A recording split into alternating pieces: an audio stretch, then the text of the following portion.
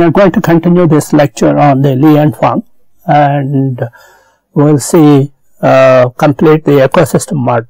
We have seen in the, in the previous case, uh, in the previous lecture, uh, one part of the ecosystem, the service chain. We have mapped the service chain and we'll see the other part of the ecosystem and we'll map the ecosystem as well. So before mapping, let's look at the what is the input output model of uh, uh, Li and Fung. You know, look at the you get uh, uh the uh, product development, design, and planning. That is what Li and Fung does for the customers. Once it is approved, it gets the uh, the supply chain finance and production monitoring, etc. Its inputs are, as we've seen, the relationship with suppliers, government and other stakeholders, knowledge of the industry environments and the ecosystem. That's the input that it gives. And other inputs are resource and knowledge management and of course, it does the sourcing, it does the factory sourcing and all that, but those and also mm, those are a part of uh, uh, the product development design and the planning supply chain planning, etc. But the input output, in the input output model, we have an input.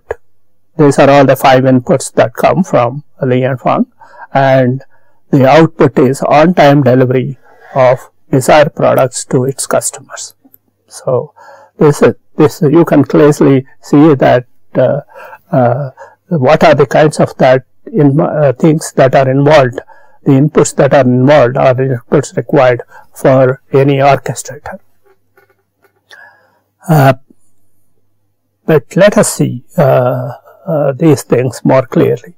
Now here, if you look at B, that is the business or the service chain or supply chain, is the design, engineering and production planning, raw material and component sourcing from suppliers, and quality control, testing, logistics, information services and finance and finally supply chain execution. These are all the business functions of the, uh, uh, Uh, uh, the service chain and we call it bird because the, of this reason. I are the institutions. What are the institutions? That is the governments, labor factors, choosing sourcing countries based on cost and quality, trade agreements, multi-fiber agreement, quota access, export and import regulations, local and international tensions. There could be some problems between the country or uh, and, and internationally. Cultural differences, the difference in the supplier's operating culture.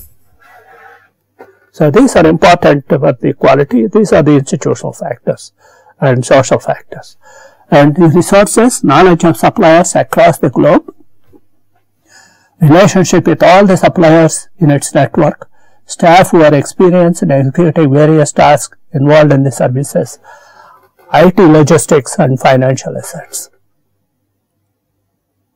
And the delivery mechanisms are, it's not just logistics, connecting and scanning information with participants and points in the supply chain linking with the customer computer systems, adopting customers in-house software system, centralized back office systems using IT to coordinate logistics, control room that links all the facilities to the headquarters.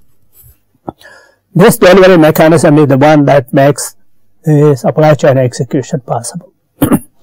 we call this bird because these are the business functions. I mean, this is comes from the service uh, chain and these are the resources and these are the uh, institution functions. So basically anybody has to uh, get these functions done with the constraints of the institutions, with the resources they have using the delivery mechanisms.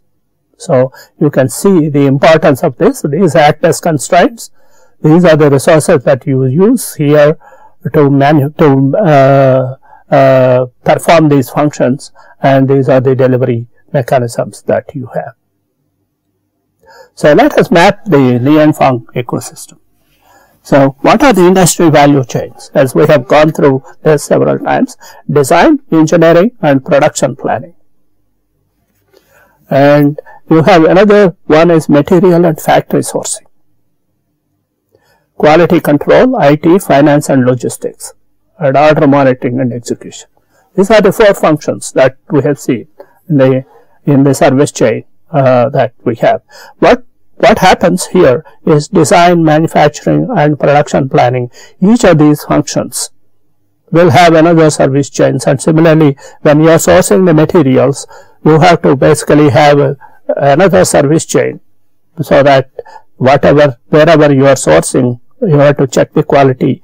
You have to choose a logistics provider and send it where it is it has destined to and so on. So each of these have their own service chains in this and of course what are the resources the country staff each in other words, these are and Fung staff in each country, information collection and business connections.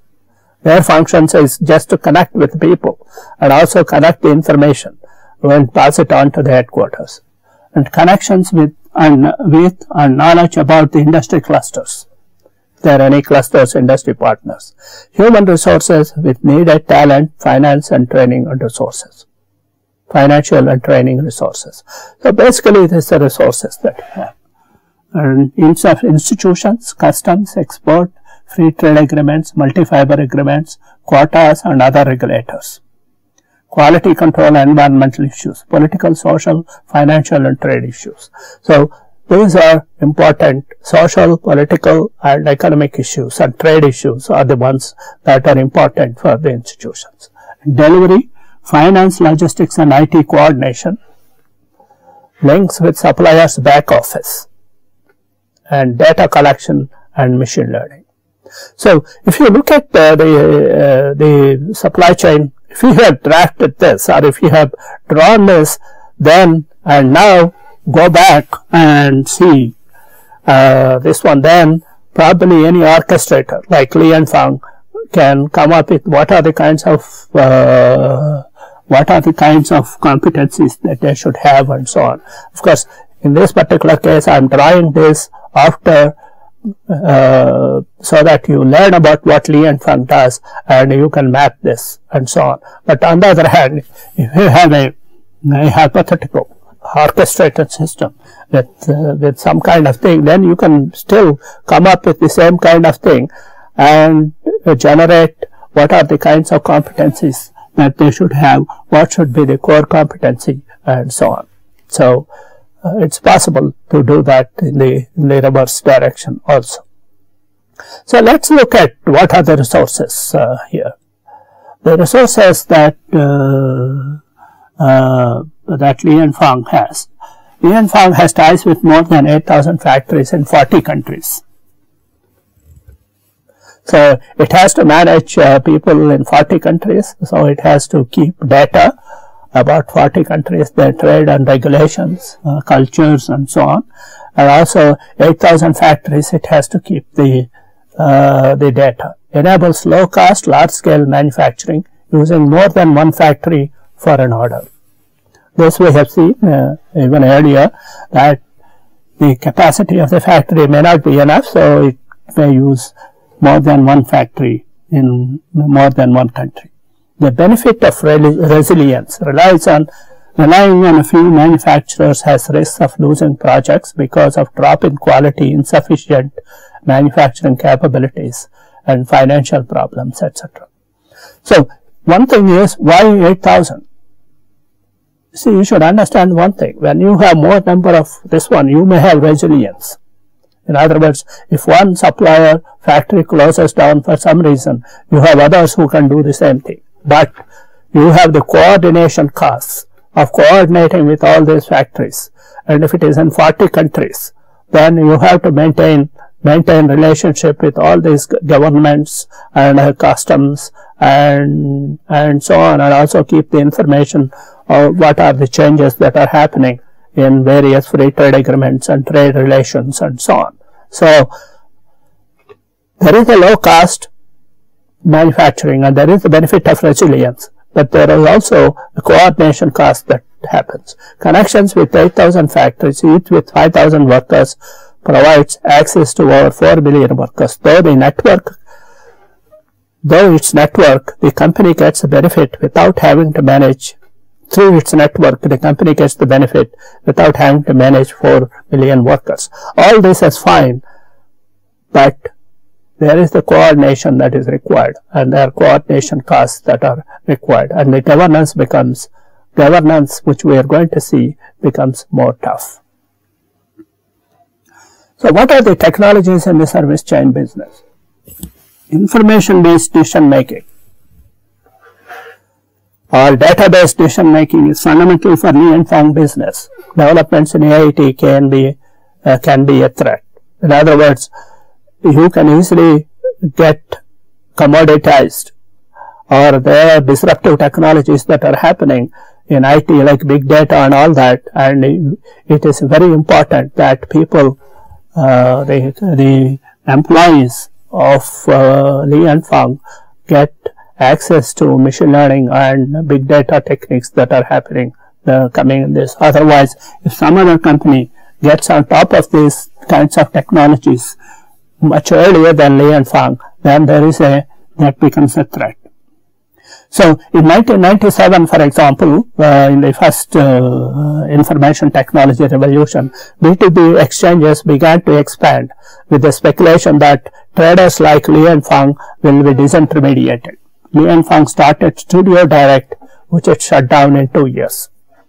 So they thought everybody thought in those days B2B exchanges or connections between companies and people are going to trade over these exchanges. So but then what the B2B exchanges does not provide and what people like Li and Fung provide is the trust and is the, the confidential information about the suppliers and so on. So you can still buy using an exchange. It's like buying on the internet. The relationship that Li and Fung seeks with its customers is narrow and deep. It's not one point of contact, but a multi-level issue. CEO to CEO, manager to manager, shipping clerk to shipping clerk, etc. So that's the kind of relationship it maintains. While technologies such as video conferencing, internet advertising, RFID tags for supply chain visibility, etc. can aid human decision making, human touch still remains an advantage. So that's the benefit that uh, uh, this one. But on the other hand, Li and Fung also uh, uh, uh, follows and it also follows track, keeps track of the disruptive, disruptive technologies as they're happening, like uh, uh, let it be video conferencing, let it be Wi-Fi or mobile, and updates itself with those.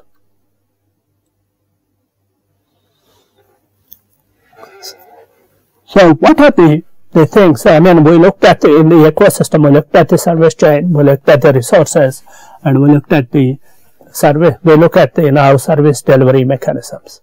What are the service delivery mechanisms? There are four C's of Li and Fung. Connections. We have been saying this because that's one of the takeaways from this particular uh, Li and Fung case is the that how important are the connections. The government contacts in Hong Kong and Beijing, the ability to reduce impact of quota restrictions and so on.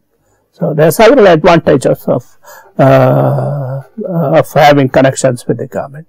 And of course, communications. When you have 8,000 suppliers over 40 countries, and you want to collect information, and you want to monitor what is happening in all this, uh, all the factories everywhere, and also all the logistics uh, in in uh, in various uh, trucks, ships, and so on. It's important to have a communication system and of course control of quality in terms of attention to detail and consolidation of shipments. So one of the ways in which if you are a, only a single supplier, single manufacturer trying to get your this one, your products, supposing one big retailer wants to get products and it contacts all the suppliers that Li and Fung has and get the shipment, but then it has shipment is solo. It may not have the scale to basically consolidation so that it can go in in several containers and uh, so that the transportation cost is cheap. So that's one of the consolidation of shipments is another advantage that it has. So one can look at four C's. So connections, communications, control of quality and attention, attention to detail and consolidation of shipments which is the logistics. These are the four strengths of uh, and all of them help in terms of the service delivery. For example, the connections, of course, they act as the oil for uh, basically getting your customs and other clearances quickly and you save time, you save on and your safety inventory, safety stocks and so on.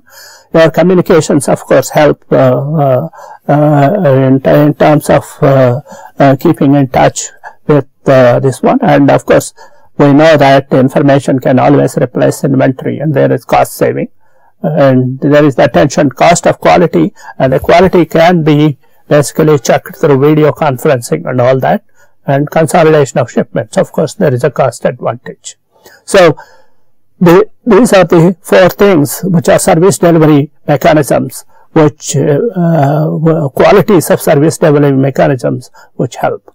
And IT logistics, IT as a core strength, sophisticated IT and centralized back office systems. so as we said in this one, for every order, the front end and the back end are done in Hong Kong. And the middle labor intensive portion is dispersed over the globe, over the Asia Pacific. And there is all the supply, 8,000 suppliers who are there, they keep in touch with the headquarters. So, there is a sophisticated uh, centralized back office system with a lot of data mining, this one, focused on connecting and sharing information across headquarters customers, sourcing offices and factories, warehouses, etc. So, there is an information transfer, uh, information that goes on and this is basically the velocity of this particular information could be, the information transfer could be very high and the volumes certainly are high. And so the variety of the data, it could be uh, audio, it could be telephone data, it could be, it could be video, or it could be data. So this is basically a typical big data that goes in in the in the uh, IT and logistics scenario. And logistics is very important. The physical transfer of goods is very important and managed very well. As each product travels across supplier countries moving in most optimized value chain for it to assume in the finished form. You can see that when, when you, when you look at the example I gave, that something is done in Korea and then it transferred to Taiwan and then finally it goes to Thai, Thailand and so on. So why is this transfer taking place? I mean, is it, it looks to, to, to conventional wisdom, it looks that it, it will be cheaper if it is done at one, all places because there are transportation costs involved, there are loading, unloading costs involved, there are coordination costs are involved. If adding all this, if it is it still cheaper to do it at different places? The answer is a big yes. And why? It is because of the logistics which it maintains. So it basically the, the, the coordination and the logistics functions of Li and Fung are extraordinary. And that is what makes the whole thing, uh, the whole thing very cheap. What are the other values added services that uh, uh, and Fung, this one? One is uh, the, in terms of the delivery mechanism, knowledge management service. Well, one thing is to acquire knowledge and the other thing is to manage the knowledge and pass it on to the people who are making the decisions. So, you have the country uh, uh, centers in each country who collect the information that that information need to be transmitted to the uh, uh, to the people in Hong Kong to who are the who are in charge of the customers. So that when a customer order comes these people use this information to select the suppliers and also I mean they select suppliers for each product each this one. So there is the this collection of this information in the, the three stages of, uh, of uh, the governance structure. The first one is to collection of all the and pooling all the suppliers at all the places. So that's a knowledge management service. Monitoring suppliers work on its customer orders. How is the supplier performing? Has they started it on time? Is the quality good? Are the resources available? So, is the issue. Assure quality and on-time delivery. So, basically, your suppliers have to deliver to you on time and you should deliver to your customer on time. And of course, the same quality products. One thing is the quality assurance becomes a tricky issue because you are manufacturing across the globe and the same product is, is coming from several factories. So, several, uh, the, the, the issue becomes uh, very important for it to monitor. And of course, there is supply chain finance, design and planning in the supply chain. So basically, the supply chain finance means, you know, you basically finance your suppliers, your logistics providers and so on, because the supplier, supposing the bank and the supplier goes bankrupt, and if it is then a critical product where the capabilities are rest only with that supplier, then what do you do? You have to finance them and then of course you will get it back when the product is sold. So these are value added functions apart from the IT and logistics and so on. And quality assurance is inspect, supervise and order and it varies with the complexity of the manufacturing process. Well, if it is dolls, if there is a lead paint that comes in and there could be some product recalls that may happen and supplier's degree of experience with Li and Fung and its customer. So basically the manufacturing process, its complexity and the supplier's experience with Li and Fung, they matter. You have to inspect and supervise each order.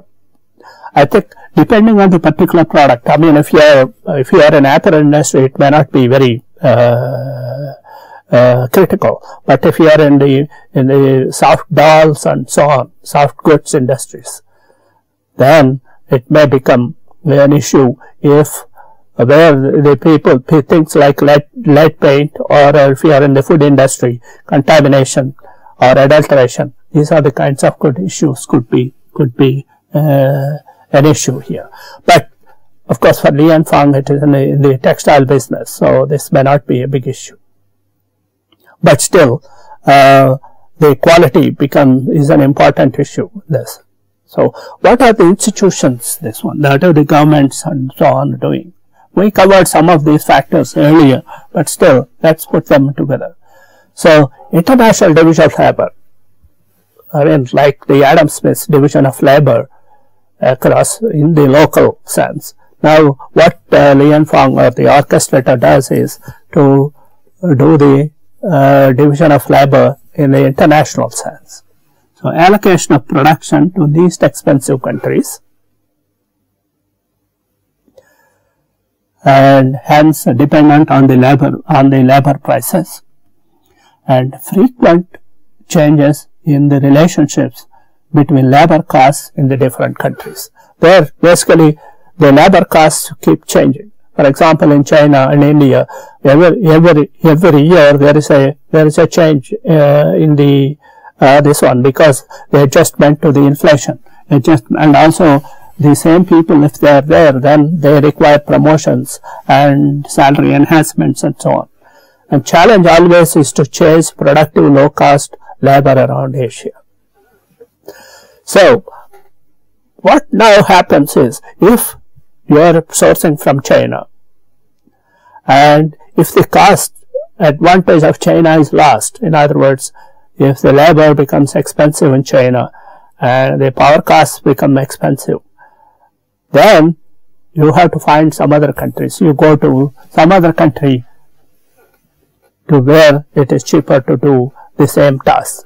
So this chase productive low cost labor around Asia is an important thing that that is uh, they, they they look for. So basically that's where there are frequent changes uh, that happen in the country's sourcing uh, this one. And what about trade restrictions? So nowadays after the financial crisis in 2008, countries have turned protectionist.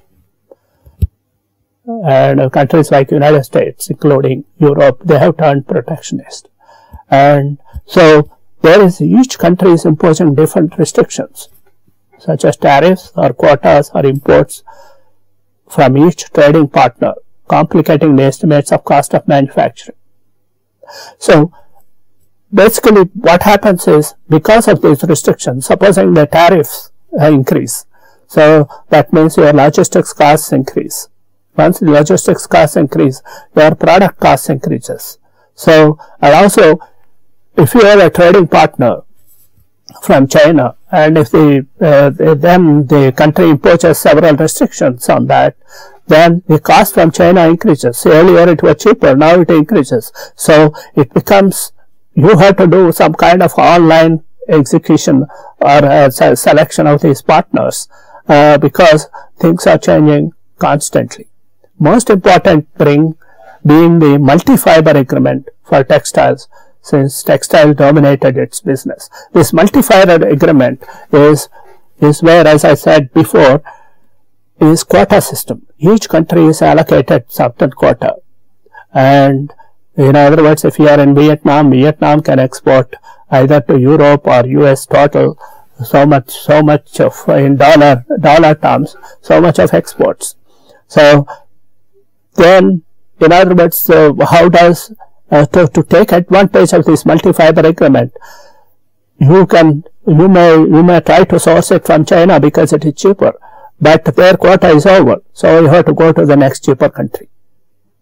So the constraints of sourcing come from not only the cost, not only the government regulations, but also the global agreement arrangements like the multi-fiber agreements.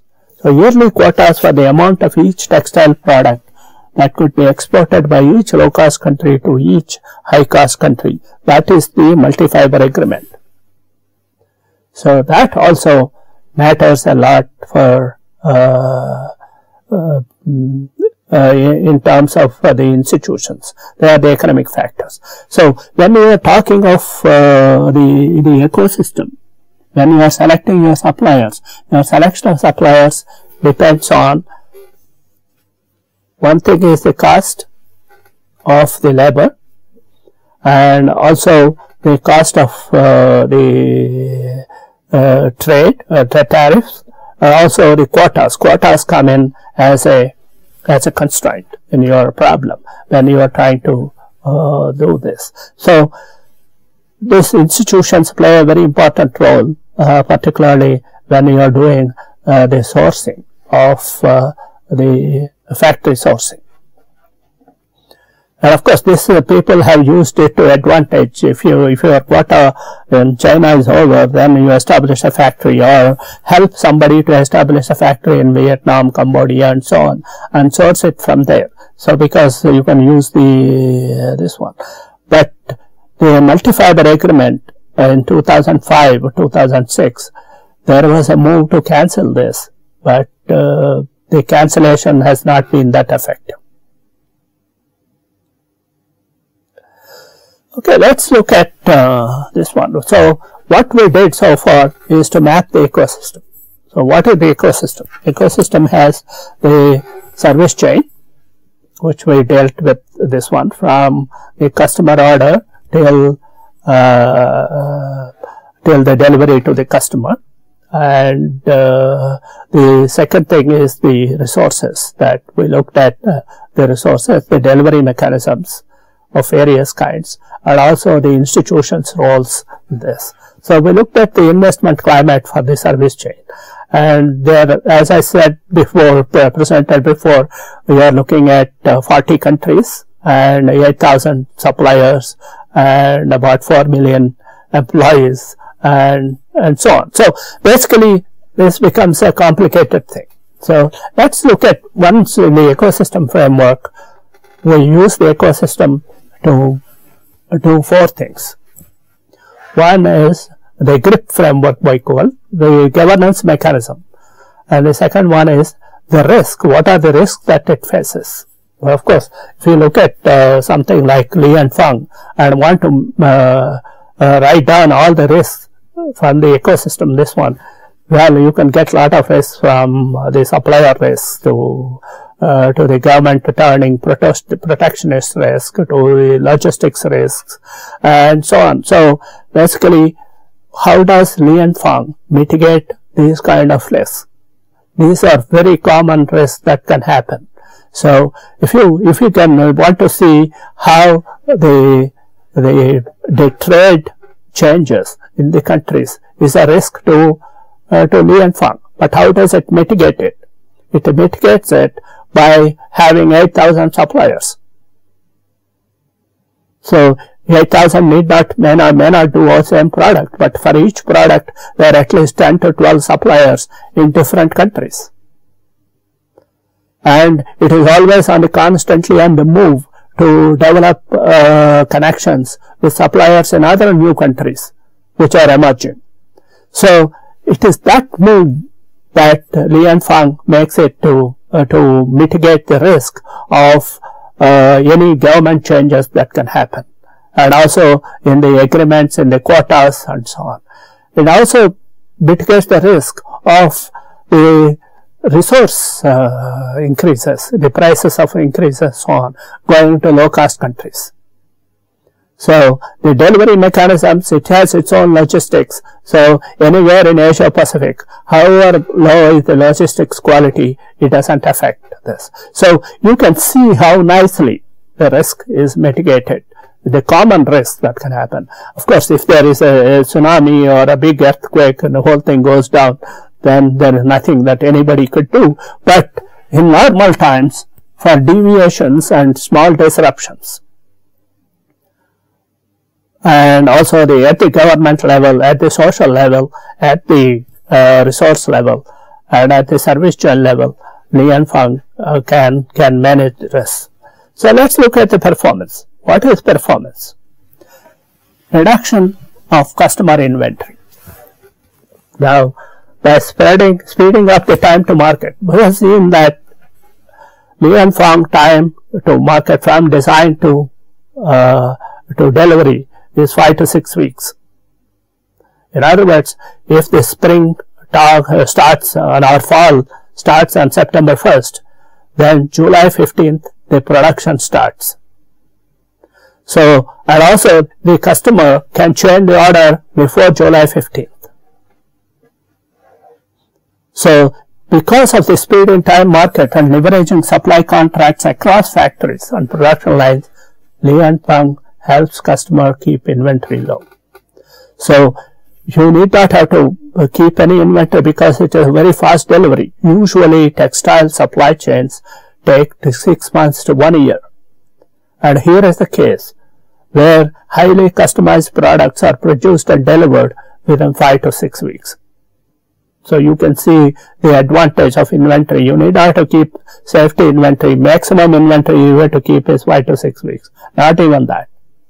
And if it does this by reserving capacity with standard apparel items, that it can easily switch to expand capacity for fashion sensitive orders. I mean, there are two kinds of orders that Li and Fung this one. One is standard apparel orders. You know, you make blankets, you make uh, uh, shirts, bed sheets, whatever. Those kind of this one. And sometimes there could be fashion sensitive orders, like, uh, you know, you want, everybody likes red color, everybody wants stripes, and so on. So whenever there is this one, they, the, since they, they know the mm, the suppliers, you can switch the capacity and this, they, by reserving the capacity, they can switch either standard items or fashion sensitive items. So that is the reduction in the customer inventory. And what about price and quality? Li and Fung's different product divisions have quality control managers responsible for types of products within defined regions. In other words, these are apparel products, whether ladies, children, or, uh, or men, they, the quality, or if it is doing soft goods like uh, uh, uh, baby dolls and so on. So for each of them, the managers are responsible. One of Li, and Fung's major strengths, a uh, particularly difficult task when manufacturing orders are spread among several factories. So this is the the this is the major strength of uh, this one is the price and quality by managing the supply chain and ensuring the quality.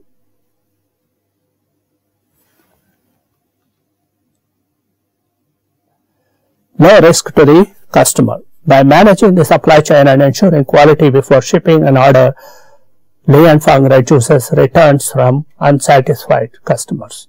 So, there must be uh, something in the uh, in, in thin lines between the contract that if the customer is not satisfied with the quality, then he can return it. But by managing the supply chain and ensuring the quality uh, before shipping an order, and Fung reduces the returns from unsatisfied sucks. So, in other words, there are three, uh, this one, and one is cost, then the performance, in that performance, one is the lead time, second one is the cost, and third one is the flexibility, and fourth one is the quality. So, you have here, you can see that the cost is low because reduction of customer inventory and price and quality is all maintained because across the chain the quality is monitored and it is low risk to the customer because by managing the, the supply chain and ensuring quality before shipping order, it reduces the returns. And delivery, Li and Fung consolidate shipments to different customers to the same market achieving economies of scale. So basically, uh, you know, it's like Walmart having a ship by for itself and so on. So, but uh, uh, Li and Fung has the shipments to United States and, and Europe. So it can consolidate all this and get advantages of scale. And of course, through proprietary Exonet clients to look for project status. So basically, the IT network uh, is, is super for uh, uh, this. And they, they basically, they use this to get the project status of each of these clients trade financing to suppliers. By providing them with finance, financing, Li and Fung can prevent delays due to problems of financing and speed up time to market. This is, as I said before, out of the 8,000 suppliers, if there's a critical suppliers and they cannot deliver on time because of some financing problems or uh, the letter of credit and so on. So, then Li and Fung finances them. So, if you look at the cost management, the cost management reduction, you reduce the inventory, you ensure quality, you ensure the price, and you give delivery through consolidation and IT network use it for this one and you trade finance.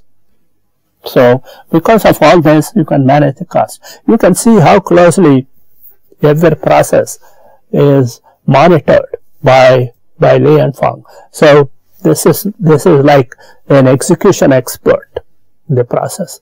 Not only planning, but it, the execution. As we said earlier, the governance has three steps. The first step in the governance is selection of your partners, getting all the partners and getting it up on the network. The second one is the planning for each order. For each order, select your partners. And third one is the execution. So you can see in all the three, uh, this one, the Li and Fung excels. So you can see one of the things that we were uh, talking about is uh, can Li and Fung be disintermediated? In other words, uh, can somebody take over what is it? Supposing there is a, an order for 10 million, right? So uh, commission paid if orders placed through Li and Fung at 7% say. Li and Fung gets 700,000. So this for 10 million you have to pay 700,000 at 7%. But supposing that fellow says, look, I don't want to pay 700,000, it's just this one, but I want to do everything by myself. If this fellow wants to do everything, replicating whatever Li and Fung does is cost of maintaining, maintain a Hong Kong office and expatriate office manager and salary benefits 20 staff at 30,000 a year rent and other expenses, it will come to 1,360,000. This is the are the real costs at that time, and so you save 680,000. So in other words, savings from using Li and Fung is this, and on the other hand, even if you spend all this 1 million, you are not sure of your quality because you have to basically spend all your time and worry about the quality and all that. But by giving 7% to Li and you are not only saving 680,000, which is almost like half of what you spent, you are also assured of sense of the uh, that of product quality and time delivery and so on. So that's the kind of advantage that Li and this one uh, gives. So if you want to beat Li and then you have to be you have to bear all these costs and see how how you can reduce it to 700,000 and so on. So let's uh, look at that's about the cost uh, and the performance uh, and quality and so on. So finally, the final one is the uh, that we are looking at the governance. So as I said, governance, as we see it as, uh, in the previous three chapters, it has uh, previous uh, this one, it has uh, three things. One is the selection of, of partners and and second one is the supply chain planning where for each order you, you select your suppliers and logistics providers and so on. And third one is the execution. So let's see. Now, and follows the following governance model. Build the company around the customer. Now, you can see that the customers of Li and Fung are all business, this one. So, they are big customers. So, each customer wants, wants attention to them. So, there is there there is it's a customer oriented company so for each customer there is a manager and so on the supply chain starts with the customer's need and ends with customer solution so that's the governance model that it follows. And customer focused divisions. Are the building blocks of Li and this one. Each of them is kept small and entrepreneurial and is run by a lead entrepreneur. Li Fung provides them with financial resources and administrative support of a big organization, but each division is given a great deal of autonomy. In other words, the so-called the manager of that division, once he gets the order, he goes through the service chain and the design settles the design and gets the product development team, uh, this one, and designs everything. And from there selects the suppliers uh, the logistics providers, the delivery, and all that is in the hands of the lead entrepreneur who is in charge of this section. So you can see, although Li and is a, is a company by itself, the execution and everything, the selection, the supply chain planning and execution are in the hands of these customer divisions. And the money they make is basically based on this. And whatever they save in the soft three three dollars is goes to this particular division all the merchandising decisions that go into coordinating the production program for the customer are made at the division head level. Li & Fung maintains a large number of divisions, around 60. And divisions are portfolio that are created and collapse almost at will.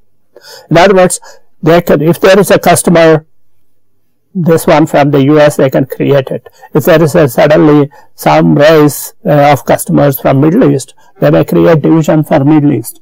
And once the, uh, the demand subsides, they'll close it.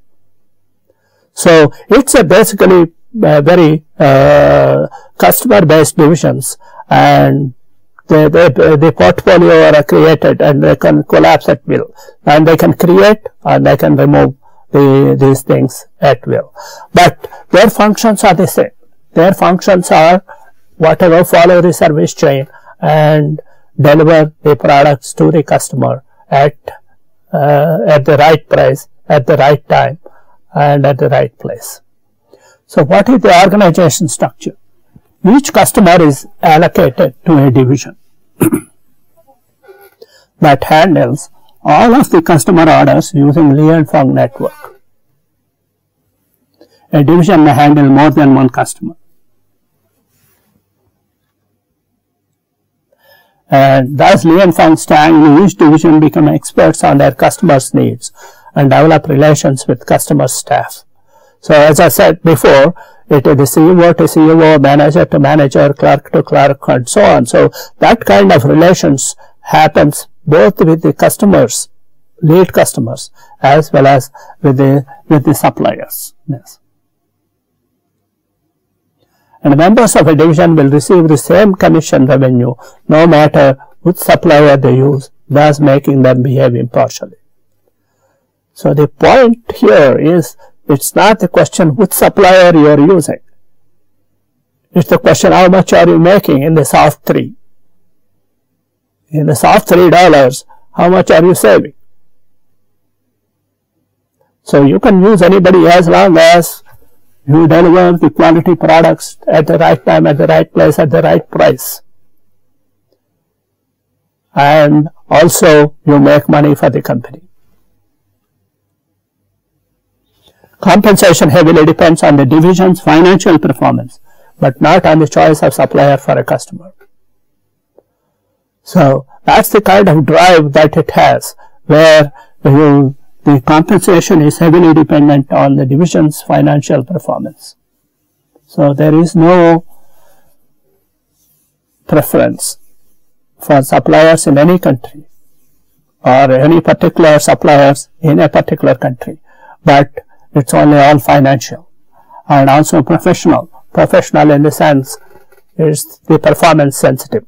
Performance in terms of cost, which means inventory, which means the speed of delivery and so on, and also in terms of the quality of the product, so that the customer should not in the end should not return the product saying that it is a low quality product, and also in terms of uh, the lead times because everything is done within 5 to 6 weeks they are delivered. So if it is a fall or a summer this one it has to be delivered on time to this one. Centralized support services frees traders from the dredge work. Now if I will show, I'll show you the diagram which shows this one. Now while this is uh, it is customer centric, there are some services which I said the, the front and back end services, the financial services, and all organization of logistics and other kinds of things. And whatever information that country heads provide to uh, this one consolidation of all that is all done by at in Hong Kong by the office. So these people, the customer centric centers, they are only concerned about the product design, product manufacturing, and product delivery. They are not concerned about other uh, things like finances, payment, uh, and so on and all that. So let's look at the diagram.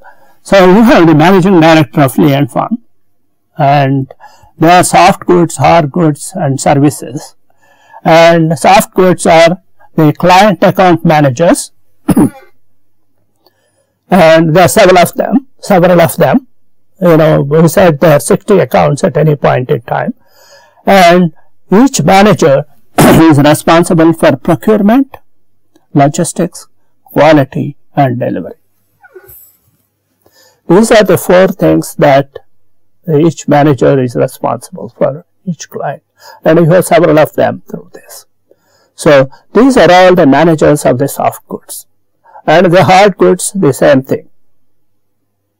But there is this CCC service center which I was talking about, which is based out of Hong Kong, where we manage the services of financial, HR, ITES, or all other services, having country centers to collect information and data mining all that information and uh, passing on to them. All those services are done in Hong Kong. They are all centralized.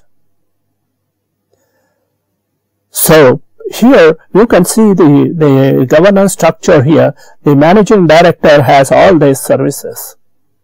These are all independent of the products, whether it is soft goods or hard goods. But each of these people, they get the information as they need about the country and that will enable them to make the decisions and so on. So if you call it data-based information based uh, decision making or information based decision making uh, or real-time decision making, you can call it whatever you like, but this is the kind of organization structure that enables the data-based or information-based decision making in the Li and Fung case. So what we did so far is Li and Fung is an excellent example of orchestration. So, and these can be followed in lots of other service industries in agriculture and so on. But if you look at uh, our uh, contribution to this is we are following the ecosystem framework and we were able to map the activities, current activities of Li and Fung into the ecosystem. So what is the advantage of using the ecosystem framework and particularly an orchestrator? We have, so you can now generalize these things and in the ecosystem framework and see how, what are the important factors that an orchestrator should do in the ecosystem and what are the kinds of things, the capabilities that they should build up. And as we said, the connections, knowledge, database, decision making, these are all the learnings that we got from this particular thing. So we should, it is a non-trivial uh, learning that we have got uh, from this particular case. And if, if it is possible for someone who is interested to generalize all this and write a write a, a thesis or a, a, paper on orchestrator and what should be the qualities and what are the decision making methodologies that you can use. And of course, here big data, cloud computing, because all this data and information, everything can be stored on a computing for all uh, a cloud for all the uh, 8,000 partners and for all the countries. And they can be accessed and processed. And you can use machine learning algorithms for data-based decision making for each of these suppliers. At least you can build a decision support system which will help the, each of these customer-based managers in decision making. So thank you and then we'll see.